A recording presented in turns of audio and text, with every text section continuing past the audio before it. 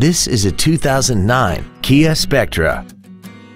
This car has an automatic transmission and an inline four-cylinder engine. Its top features include air conditioning, a split folding rear seat, cruise control, a CD player, a leather-wrapped steering wheel, a multi-link rear suspension, alloy wheels, a low tire pressure indicator, heated side view mirrors, and this vehicle has less than 9,000 miles. This Kia has had only one owner and it qualifies for the Carfax buyback guarantee. Contact us today to arrange your test drive.